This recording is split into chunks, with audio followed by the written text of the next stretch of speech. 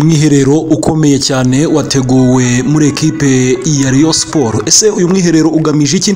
Ni ibiki biri buze kugenda biganirwaho? Urwego rw'igihugu rw'imiyoborere hano mu gihugu cy'u Rwanda RGB rwongeye kugira bimwe mu byo rutangaza bikomeye cyane bigendanye na ekipe ya Rayon Sport. Ni ingingo ziremereye cyane tugiye kugarukaho ndetse tukarebera hamwe zikubiye muri ekipe ya Rayon Sport. Ese Uwayezu Jean Fidel aratangazwa iki ibigendanye no kongera kuyobora ekipe Rayon Sport manda y'imyaka ine bimeze bite? Amakuru menshi cyane yo muri ekipe ya Rayon Sport tugiye kuyarebera hamwe tujye tuyabavira imuzi n'imuzingo. Gusa tugiye kwibanda ku ruhande rw'imiyoborere abakunzi ba Murera bamaze iminsi bafiteho urujijo. Ni zimwe mu ngingo o, zadutwaye amasaha atari makeya cyane agera kuri ane dushaka ukuri kuri aya makuru. Ni byinshi cyane mwakomeje kugenda mwumva mu bitangazamakuru bigiye bitandukanye ariko Verite TV kubera ko twibanda kandi tugatinda cyane muri Rayon Sport niyo mpamvu tubazaniye amakuru nk'aya ngaya. Rutahizamu ukomeye cyane wakanyujeho muri ekipe y'igihugu y'u Rwanda Amavubi Jimmy Gatete. Yageze hano mu Rwanda akihagera atangaza amagambo akomeye cyane. Ni byinshi yatangaje ariko Verite TV hari ibyo twakotinze turi buze kugarukaho muri iyi nkuru yacu. Izo ni zimwe mu ngingo z'ingenzi tugiye kwibandaho muri aya makuru cyangwa se abantu gutira agatebe neza rwose ukicara ukantiza iminota mikeya cyane ubundi nkaza kuba nkubwira ngo bimeze bite. So nimba ari ubwa mbere dukurikiye wibuka kandi ko iyo buto itukura ya subscribe nimba wakunze inkuru yacu rwose kandi kwiyo buto yo like ni ugukandaho byonyine rwose bitagira bwa kabiri biba bibaye inkuru inkuru yacu wakunzwe n'abantu benshi e, nyine wayikanzeho like bidutera imbaraga nyinshi cyane zo kubashakira andi makuru kandi agezweho bityo ukaba ufashije na bagenzi bareba nk'ibyo ureba kubona inkuru za siporo. Kuko iyo iyi nkuru yagize like nyinshi YouTube ihita ku bandi bantu bakunda nk'ibyo ukunda we wakanze like. So reka tureke kwiza mu magambo iyi ni verite tv ni byinshi cyane byakomeje kugenda bivugwa hano muri ekipe ya Rayon Sport. Nyuma y'uko ekipe ya Rayon Sport itakaje igikombe cya shampiyona igasezerwa mu gikombe cy'amahoro. Inkuru zabaye nyinshi zandikwa mu bitangazamakuru bigiye bitandukanye. Urwego rw'igihugu rw'imiyoborere RGB rwagize ibyo rutangaza bikomeye cyane muri ekipe ya Sport ndetse n'ubundi bwino bwose bw'indani ngiye kubukubwira. Ariko reka duhere kuri uyu Jimmy Gatatu wamaze gusesekara hano mu gihugu cy'u Rwanda. Rutahizamu rwose ukomeye cyane uyu nguyu afatwa nka rutahizamu bihe byose muri ekipe y'igihugu y'u Rwanda Amavubi. Uwo ni Jimmy Gatete. Uyu mugabo asigaye aba hariya muri leta zunze ubumwe za Amerika. Yageze mu nyine byatangiye kumenyekana ko yageze mu Rwanda. Aho yitabiriye umuhango wo gufungura Kigali Universal uzaba tariki ya cumi n'icyenda uzaba tariki ya cumi na karindwi kugeza tariki cumi n'icyenda gicurasi umwaka w'ibihumbi na makumyabiri na kane. Iki gikorwa biteganyijwe ko kizitabirwa n'ama ekipe ane. Ekipe y'abakanyujijeho regions abacuruzi abanyamakuru ekipe nyine y'abanyamakuru ndetse n'iy'abahanzi. Jimmy Gatete azakinira ekipe y'abakanyujijeho. Yavuze ko mu bimuzanye hano mu Rwanda birimo gushyigikira Coach Gayer wubatse Kigali Universal. Mu magambo yagize ati njye mu rugo nk'ibisanzwe ariko navuga ko natumiwe. Hari igikorwa cy'umuvandimwe cya Kigali Universal. Njyemo na cyo nge kucyitabira. Mu kuyifu nyine nge kucyitabira mu kuyifungura. Ati nge kuyifungura. Niyo magambo ya Jimmy Gatete. Yakomeje avuga ko atari mu rwego rw'ubucuruzi kuko Gayeri ngo ari umuvandimwe we. Mu magambo ye yikuriye mu kanwa ke yagize ati nta mpamvu yihariye ihari ni umuvandimwe wanjye naje kumufasha. Ni umugabo washinjwe kuba kuva yasezera rwose gukina umupira w'amaguru atarigeze agaragara mu bikorwa bya ruhago cyane ni mu gihe hari benshi bamubonamo ubushobozi bwo kuba hari icyo ngo yakora nyine muri uyu mupira w'u rwanda. Uyu jimmy gatete avuga ko we yiteguye kuba yatanga umusanzu mu byo ashoboye byose kugira ngo umupira w'amaguru mu rwanda utere imbere. Yagize ati umwanya uwo ari wo wose umuntu ashobora gukora ikintu. Mu mwanya wose nyine umuntu ashobora kuba yakora ikintu. Ngo bibaye ngombwa bishoboka nta kibazo. Ngo kuba atagaragara cyane mu bikorwa by'umupira w'amaguru mu rwanda. Yavuze ko we ntarirarenga rwose. Aho yagize ati navuga ko ntarirarenga byose birashoboka. Simbona ngati simbona igisubizo naguha nyacyo gifatika. Ariko ntarirarenga rwose. Ndabitekereza igishoboka cyose ati nzagikora. Dusoza kuri uyu mugabo yakomeje ku biganiro yagiranye na perezida paul kagame ubwo aheruka mu rwanda abajijwe niba agize icyo yamusaba kuza gukora mu mupira w'u rwanda ngo yagikora. Yavuze ko atari ngombwa ko perezida wa repubulika y'u rwanda abimusaba. Aho yagize ati hari ikintu gihari nshoboye ngo atari ikintu gihari nshoboye nakora babinsabye nabikora. Si ngombwa ko umukuru w'igihugu yansaba. Kuki se nge ntabisaba ahubwo nihaboneka amahirwe nzabikora? Uyu mugabo yavuze ko nta rwego na rumwe rwa siporo yaba ferwafa cyangwa se minisiporo rwigeze rumwegera rumwereka ko hari icyo yafasha ngo abyange. Mu gihe bizaba ngo yiteguye kuba yagira icyo akora. Yagize ati oya nta n'umwe. Ni ibintu ati ni ibintu byiza umupira kuwuzamo. Kuba nagira icyo nawukoramo hari umusanzu natanga. Niko nibaza ariko nta ati ati ntawuranyegera ntawurabinsaba uyu mukinnyi rero wafashije amavubi kwitabira igikombe cya afurika cya bibiri na makumyabiri cya bibiri na kane. Murabyibuka rwose batsinda uganda habamo imirwano zikomeye cyane ndetse biba ko uyu jimmy gatete apfukwa kubera nyine imirwano n'itoroshye yari yabaye. Iki gihe nanjye urakora iyi nkuru narindi umwana mutoya cyane. Mutoya cyane ariko iki ni cyo gikombe kimwe rukumbi u rwanda rwitabiriye. Benshi bamwibukira ku gitego yatsinze gana cyahise kinahesha u rwanda itike murabyibuka neza cyane. Nyuma yo gusoza umupira w'amaguru uyu jimmy gatete nyuma yo gusoza gukina umupira w'amaguru ibijyanye na ruhago rwose ntiyakunze kubigaragaramo cyane aho ubu ngubu yinjiye mu bikorwa by'ubucuruzi yibera hariya muri leta zunze ubumwe za amerika. Ni gutyo bimeze rwose kuri jimmy gatete. Uyu mugabo ni umunyabigwi.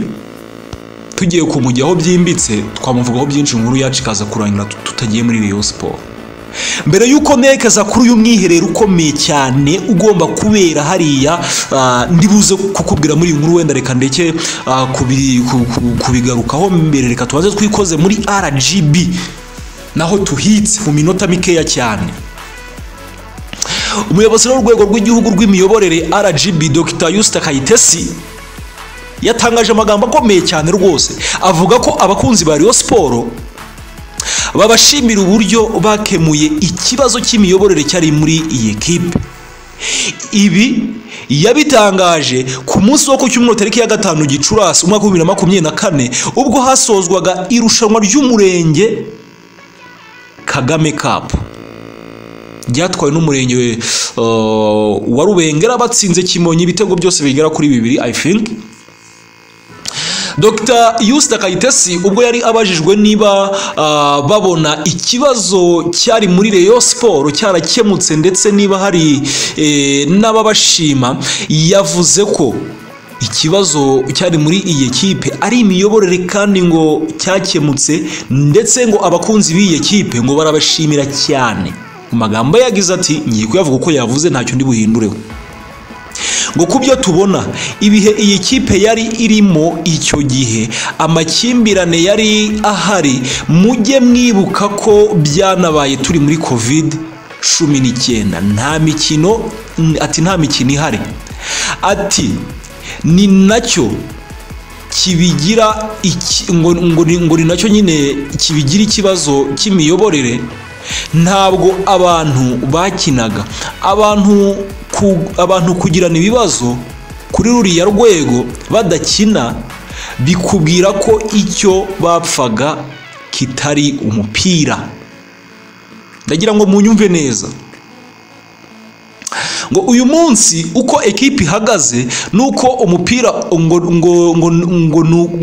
ngo niko umupira umera. Ibyo ni ibibera mu kibuga ariko icyari kigamijwe ni ukugira ngo ekipi igire ubuyobozi bwita ku nyungu z'ikipe kandi bitarimo urujijo.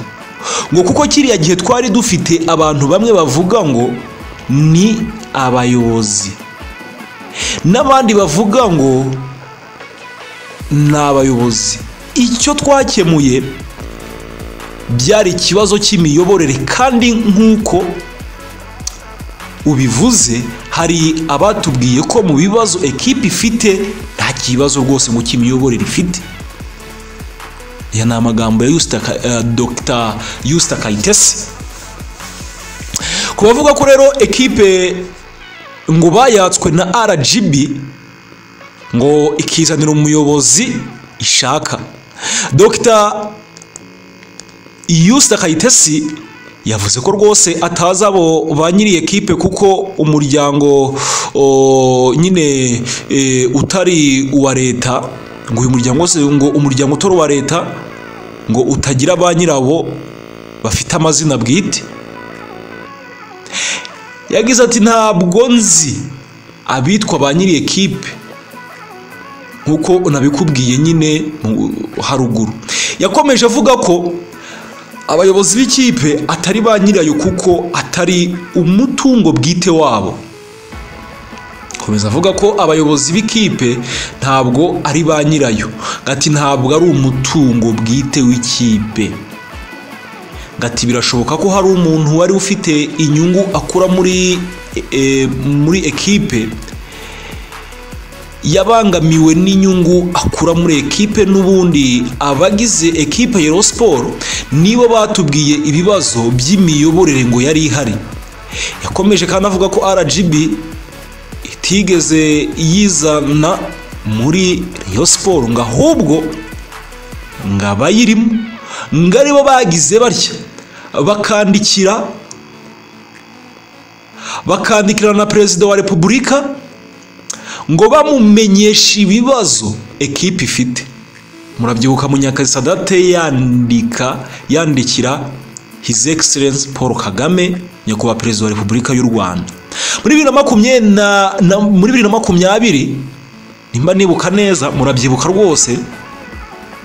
Ubwo rero siporo yagiraga ibibazo mu miyoborere byabaye ngombwa ko urwego rw'imiyoborere rgb ubwo mpise ngusubiza mu mizi neza. Rubizamo nk'urwego rushinzwe kureberera imiryango cyangwa se asosiyasiyo associations. Maze rweguza munyakazi sadate wari uri muri ekipe wari perezida w'uyu muryango wa Rayon Sport.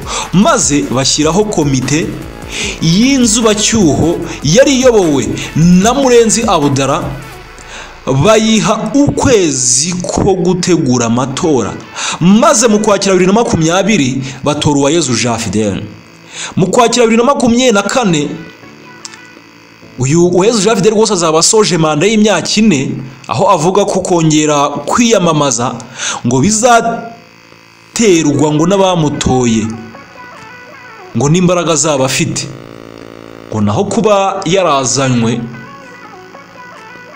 ngo ntari byo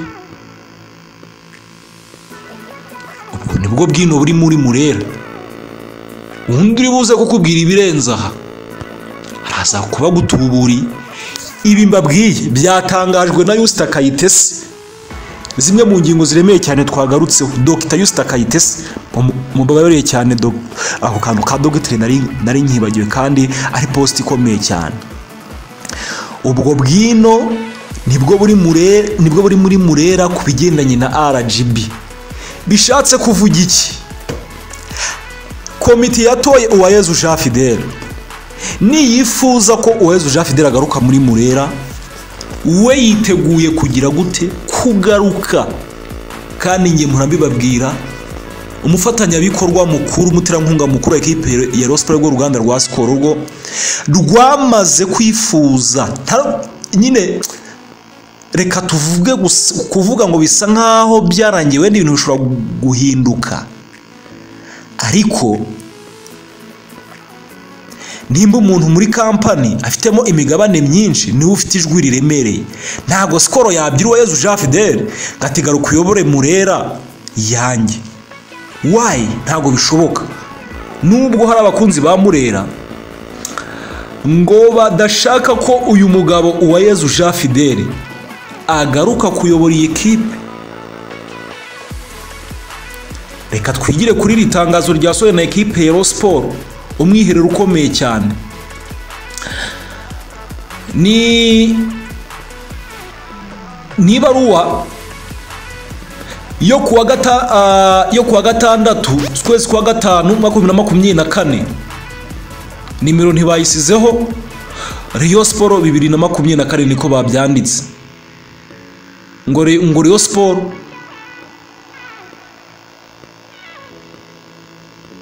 ibihumbi makumyabiri magana abiri na kane ubwo niko babyanditse kandi wenda ubwo rero bagiye kwandika bibiri na makumyabiri na kane.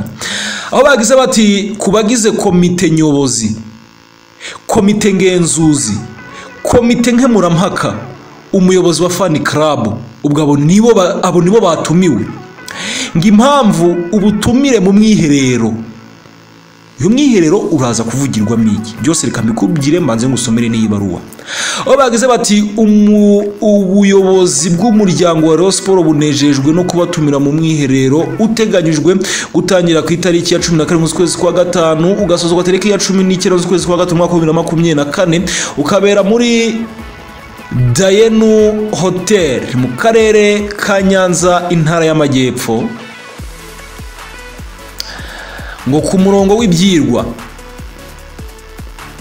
Ngo ni ukurebera hamwe uko umwaka w'imikino wa bibiri na makumyabiri na bibiri na makumyabiri na kane wagenze. Ngo n'imyiteguro y'umwaka wa bibiri na makumyabiri na kane bibiri na makumyabiri na gatanu. Ngo buri fani karabu izahagararirwa na perezida wayo ngo ataboneka hakazitabira visi perezida cyangwa umunyamabanga mukuru wahawe uburenganzira bwanditse. Icyitonderwa uzitabira umwiherero ngo arasabwa kuzaza yitwaje. Urutonde rw'abagize komite ya fani kerebu n'abanyamuryango bose amazina yombi na nimero ya telefone zabo cyangwa se nyine z'abo banyamuryango. Ngo azitwaza kandi umwambaro wa riyo siporo ndetse n'imyambaro ya siporo mugire amahoro. Ni ibaruwa nyine yashyizweho umukono na uwahezu jean fidele perezida w'iyi kipe ni gutyo bimeze izindi abari za ndani hari abakinnyi bagomba kwinjira muri iyi kipe ndetse n'abagomba gusohoka. Twakoresheje iminota myinshi cyane. Iyi ni ingingo ukwako. Ugomba kubana natwe kugira tuguhereze abari za ndani zo muri murera. Kuri iyi nshuro ibyo ni byo twari tubafitiye. Ibindi twarenzaho yaba ari amarangamutima yacu. So ikintu kimwe nsoza nabwira abakunzi ba murera. Mwe gucika intege. Mwe gucika intege. Ntabwo wacika intege kuri ekipa ukunda. Kuko ntiwayivaho. Ntabwo bishoboka. Ni igihe kitaragera. Umuti ukiza urasharira urawunywa ukakurya ukakurya ugashinyiriza. Abakunzi ba murera rero ibi murimo nawe muriho muranywa umuti usharira umuti urura.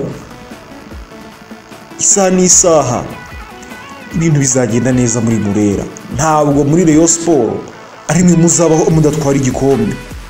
Mwabaho mutese ariko ibintu bizajya ku murongo. Bizajya ku murongo muri murera muri murera. Noneho abari baracitse intege bavuge bati kuki twacitse intege? Wayi bakunzi ba murera mugaruke. Mugarukire ekipe. Ekipe irahari ni iyanyu. Ni iyanyu kabisa.